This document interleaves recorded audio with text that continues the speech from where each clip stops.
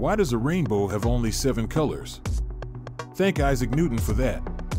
Over 2,500 years ago, Aristotle believed colors came from light and darkness, white being light and black, darkness.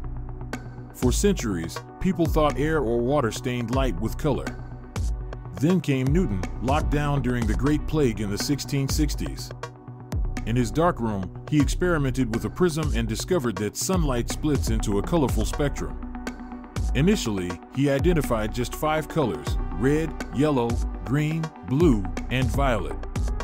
But he later added orange and indigo to align with his belief in mystical numbers. Seven colors match the seven notes of the musical scale, creating a harmonious connection. In reality, rainbows contain a continuous blend of colors, but we simplify them into seven for convenience. So, the seven color rainbow is more of a human made concept than a scientific fact. Fascinating, right?